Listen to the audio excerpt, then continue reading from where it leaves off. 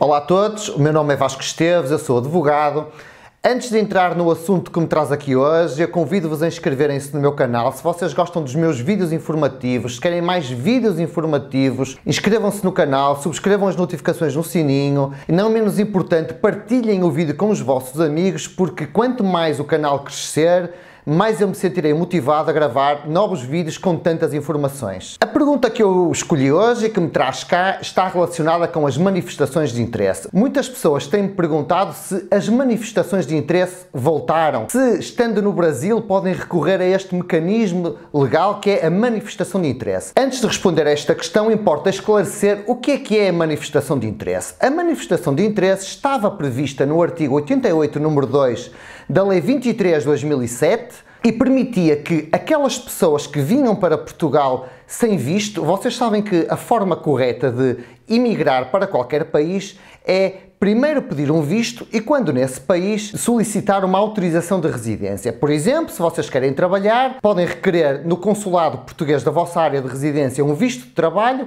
e, quando em Portugal, podem requerer então autorização de residência. Mas muitas pessoas optavam por não fazer, vinham diretamente para Portugal e até quando lhes era perguntado a que vinham, se vinham como turistas, se vinham trabalhar, se vinham estudar, muitas pessoas ocultavam as verdadeiras intenções e diziam que vinham como turistas. E quando em Portugal requeriam então o número de contribuinte, o número de contribuinte em Portugal designa-se de NIF, número de identificação fiscal, e este número no Brasil equivale ao vosso CPF. Requeriam então o NIF, requeriam também o NIS, que é o número da Segurança Social, e conseguindo obter cá um emprego, encontrar um emprego, eh, as pessoas informavam então as autoridades em Portugal que pretendiam ficar cá a trabalhar para isso, requeriam então uma manifestação de interesse junto da entidade responsável. Ora, a entidade responsável anteriormente era o Serviço de Estrangeiros e Fronteiras e hoje é a AIMA. E este mecanismo facilitador permitiu que muita gente se regularizasse. Isto provocou um colapso no Serviço de Estrangeiros e Fronteiras, anteriormente e agora na AIMA.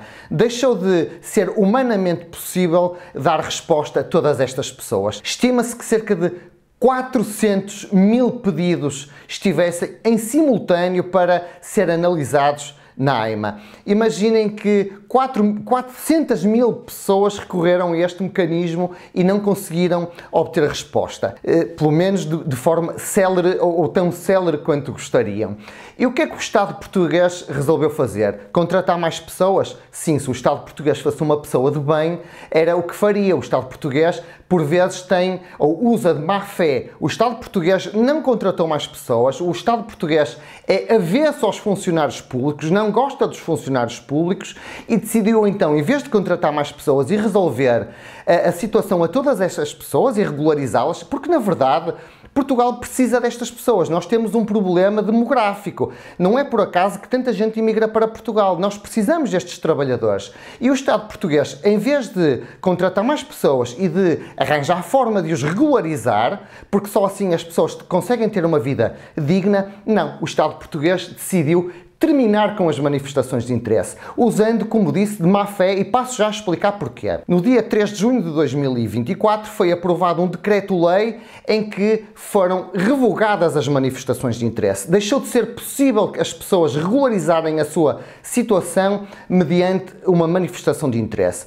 E reparem, e porquê é que eu digo e disse há pouco má fé? Porque isto foi aprovado no dia 3 de junho de 2024 para entrar em vigor no dia 4 de junho, sem qualquer aviso prévio, sem que estas pessoas que já cá estavam e tinham esta expectativa legítima de se regularizar, sem que o pudessem fazer. Ou seja, de um dia para o outro o Estado decidiu terminar com as manifestações de interesse.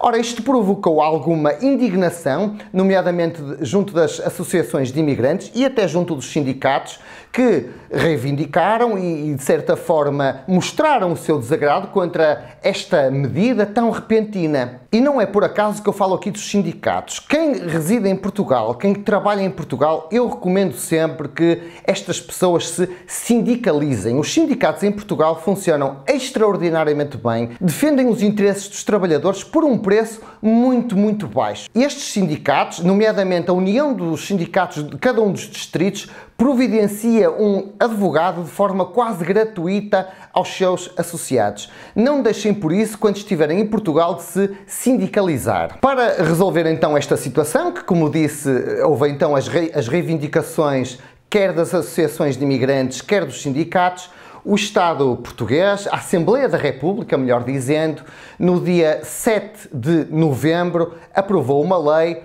que veio permitir que quem já estava em Portugal, notem, quem já estava em Portugal até o dia 3 de junho, quem estava uh, inscrito na Segurança Social e já contribuía para a nossa segurança social em Portugal vai poder agora, ainda assim, e apesar de a manifestação de interesse, como disse, ter sido revogada, mas estas pessoas poderão ainda recorrer a ela. Notem que, como disse, é só para estas pessoas, só para quem estava em Portugal até o dia 3 de junho, só para quem contribuía, estava inscrito na Segurança Social e para ela contribuía, como disse.